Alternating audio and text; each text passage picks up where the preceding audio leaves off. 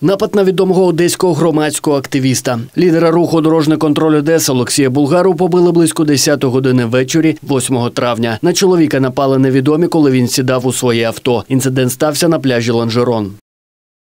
Выходил со своего рабочего места, только подошел к автомобилю, услышал топот сзади, обернулся, я уже практически присаживался. Два человека на меня, будем считать, набросились, вы- вытащили из автомобиля. Дальше, как говорится, потерял сознание, дальше уже ничего не помню.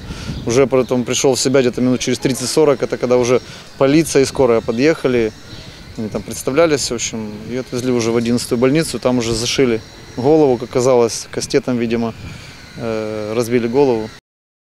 Олексій Булгаро, відомий своїм розслідуванням фактів корупції та порушення законодавства правоохоронцями, слідкує за роботою вагових комплексів та активно веде судові процеси проти різноманітних установ. Сам активіст називає декілька можливих причин нападу. Серед них конфлікт пов'язаний з його торговим місцем на узбережжі.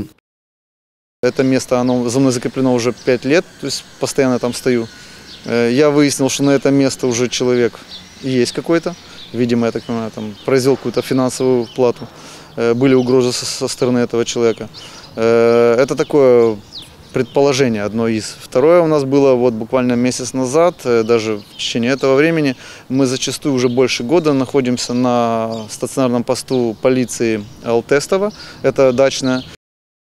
17 квітня, коли на посту сталася стрілянина, одна зі сторін конфлікту звинуватила активістів дорожнього контролю. Проте нікого з руху там не було, запевняє Олексій. Він також не відкидає версію постійних конфліктів з правоохоронцями. Поки що він самостійно знайшов фото ймовірних нападників. Зараз поліція за зверненням активіста встановлює обставини інциденту. Відкрито кримінальне провадження за фактом нанесення легких тілесних ушкоджень.